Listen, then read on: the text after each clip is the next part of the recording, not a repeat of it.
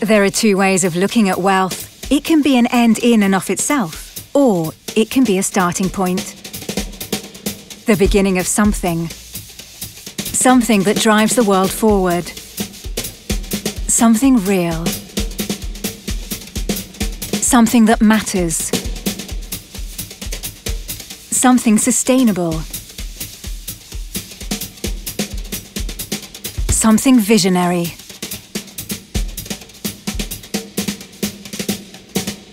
Something we can be proud of. Proud of our convictions.